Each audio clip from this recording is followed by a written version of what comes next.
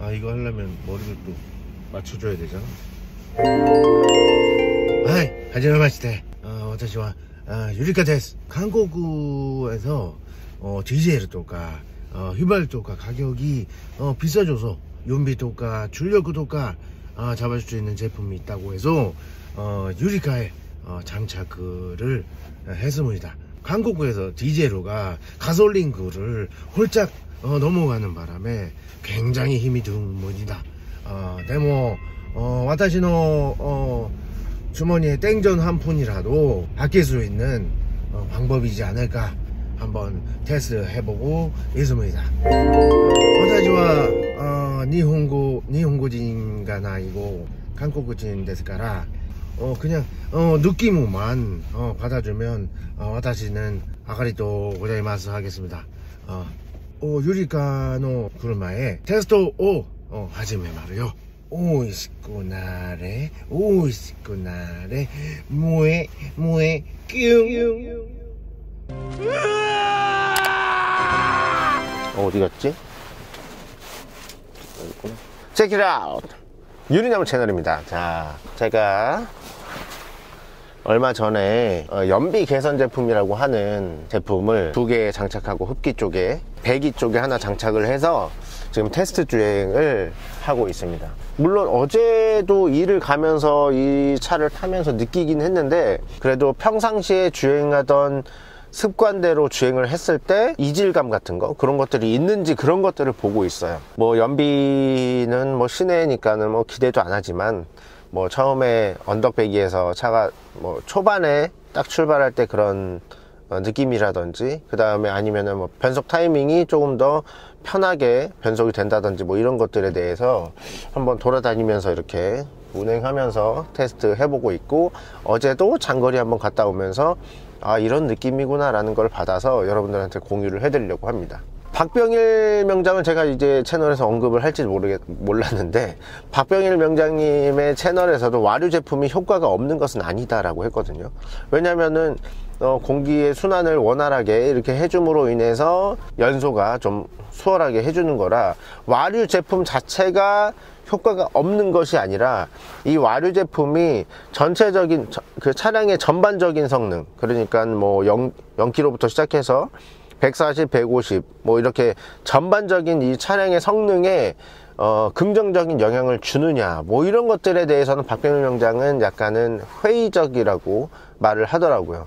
그러니까 초반에는 뭐 어떤 부하 같은 게 많이 안 걸리니까 분명히 효과가 있다라고 말을 했고 그 다음에 고속으로 갈수록 뭐 원래대로라면 그 공기의 속도 있잖아요. 공기의 그런 흐름 자체가 외부에서 엔진으로 들어가는 공기의 양이 여기서 여기 가는 게 1초라고 하면 고속으로 달릴 때는 0.78초 0.5초 뭐 이런 식으로 좀 더 빠르게 움직일 텐데 그런 부분에 있어서는 어, 중간에 흡기 쪽에 들어가는 배관에 무언가 하나를 장착한다는 게 뭐라고 할까 걸리적거린다고 해야 되나? 그런 것들로 인해서 특정 구간 고속이라고 하긴 좀 그렇고 특정 구간에서는 오히려 효율이 떨어지는 상황을 만들지 않나 라는 식으로 박병일 명장은 이야기를 했죠. 그래서 보통 우리가 많이 사용하는 그 구간이라는 게 정지 출발, 정지 출발 이런 게그 나라마다 그리고 또 지역마다 어떤 특성이 다른 것 같아요. 뭐 지방에 같은 지방 같은 경우는 한번 출발해 가지고 고속도로가 아닌 지방 도로만 올라가도 신호등 없이 그냥 쭉 달리기 때문에 중고속의 효과를 더 많이 볼 수 있는 반면에 우리처럼 어 도심지에서 이렇게 운행하는 경우에는 정지 출발 정지 출발 심지어 도심 속도가 50km로 제한이 되지 않습니까 그래서 저속에서는 오히려 어, 와류 제품이 효과가 있다는 것을 박병일 명장도 증명을 했기 때문에 이 제품 자체를 장착하는 것 자체는 저속 토크나 저속 어, 주행 성능 개선에 도움을 주는 것은 분명하다고 생각이 듭니다. 그리고 또 하나 제가 뭐 말씀드리고 싶은 거는 와류 제품이 전반적으로 다 같은 패턴이고 같은 형태고 어떤 기술적으로 추구하는 바는 동일하다는 거죠. 공기를 이렇게 뭐 회오리치게 만들어서 빠르게 들어가게 한다. 그러니까 뭐 얼마 전에 그 에코튜닝 대표님하고 얘기했을 때도 유체역학을 오랫동안 공부하신 분이고 그쪽에서 일을 많이 하셨던 분이기 때문에 뭐라고 말씀을 하셨냐면 물 흐름과 같다는 거죠. 물을 흐르게 하는 데 있어서 좀 더 빠르고 원활하게 통과시킬 수 있는 그것을 공기에 적용해서 공기가 원활하고 빠르게 통과시킬 수 있는 방법을 어, 연구한 것이다 라고 말씀하시는데 초기에 딱 나왔을 때 굉장히 제품도 많고 획기적이었거든요. 무동력 터보라든지 아니면은 뭐 어떤 태풍 뭐라고 해가지고 태풍을 일으킨다든지 뭐 이런 식으로 명칭은 다 다르고 모양도 다르고 하지만 결과적으로 와류를 일으켜서 공기의 흐름 속도를 빠르게 만들어준다라는 측면에서는 같은 제품이라는 겁니다. 그러면 결과적으로 어디에서 영향을 받느냐라고 생각을 한번 해본다면 관심이 있어서 보시는 분들은 아시겠지만 가격 자체가 5만원, 3만원, 4만원 뭐 이런 금액대가 아니라 뭐 20 몇만 원, 뭐 40 몇만 원 제품 하나당 뭐 십몇만 원짜리 곱하기 몇 개. 뭐 이런 식으로 가기 때문에 어 많게는 한 50만 원 가까이를 그 제품에다 투자를 해야 되는 거예요. 그러면 소비자가 제품에 대한 제품값을 지불하는 데 있어서 50만 원이 아깝지 않게 만들어주는 것은 무엇이냐? 뭐 제품의 재질이라든지 만듦새라든지 공정에 대한 비용 같은 게 많이 든다고 하면 그만큼 어떤 제품에 대한 퀄리티라든지 품질이 보증될 수 있다는 것이겠죠.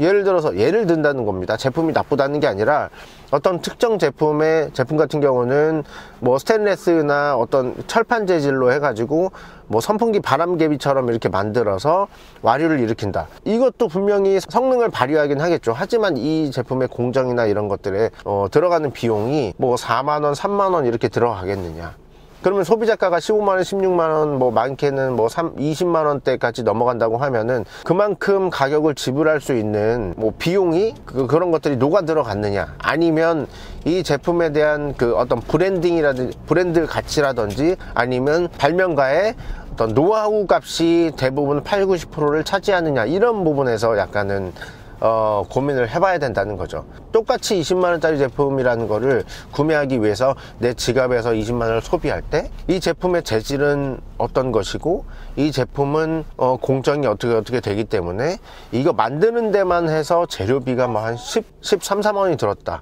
라고 하면 제품 20만원짜리 내면서 뭐 장착비 뭐 이렇게 이렇게 했더니 20만원 초반이 됐어. 그러면 어쨌거나 이런 거 저런 거 다 따져보면 회사에서 남기는 순이익이 적을수록 제품의 퀄리티나 이런 것들이 높아지지 않는가 이런 생각을 해봤다는 거죠. 제 생각은 그렇습니다. 모든 제품 모든 와류를 형성하는 그런 특정 제품들은 일정 수준의 퀄리티나 성능은 발휘한다. 그렇지만 그 제품값을 지불하는 데 있어서 과연 이게 아까운 것이냐 아깝지 않은 것이냐에 따른 그런 어떤 만족도가 따라오지 않나 이런 생각이 듭니다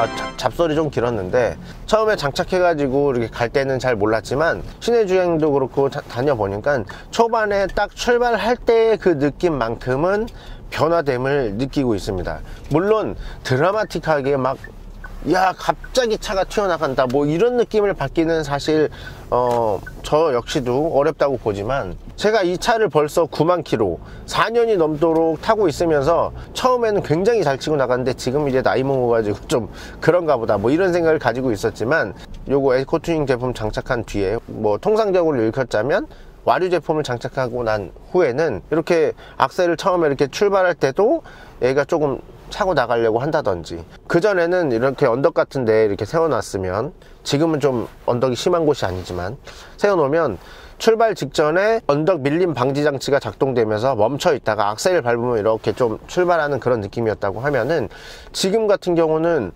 발을 떼면 이렇게 쭉 나가려고 하는 이런 느낌이 어 뭐랄까 미묘하게나마 조금 어, 느껴진다라는 거죠 뭐 처음에 출발할 때 이렇게 치고 나갈 때도 약간은 좀 뭐 부응하는 느낌 없이 한 번에 좀 밀어주는 그런 느낌이 나고. 저의 그 운전 성향이나 이런 거 뭐 아시는 분들은 다 아시겠지만 그냥 뭐 80에서 100 사이로 왔다 갔다 그리고 뭐 규정차로도 웬만하면 다 지키려고 하고 부득이한 경우를 제외하고 그렇게 하기 때문에 지금처럼 이렇게 쭉 나가면은 확실히 변속 충격이나 뭐 이런 것들에 조금은 완화됨을 느끼고 그걸로 인해서 주행 질감이라든지 뭐 이런 것들이 조금 더 부드러워졌다? 그런 것들을 확실히 체감하고 있습니다.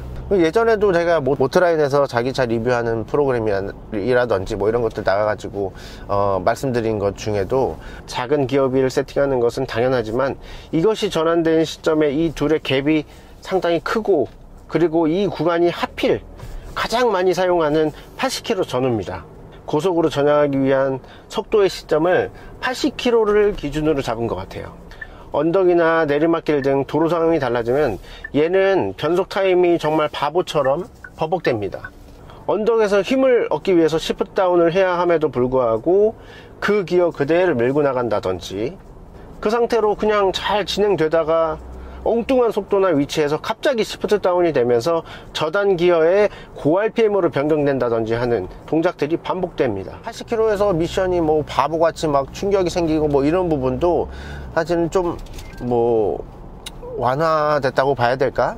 지금은 뭐 장착한 지 한 3일 정도 됐고 그 중에 한 이틀 정도 타고 있지만 계속 타면서 제가 체감할 수 있다고 하면은 한 번 더 영상을 올려가지고 이런 뭐 제품을 제가 장착을 했는데 괜찮았다 그렇게 말씀드릴 수 있을 것 같습니다.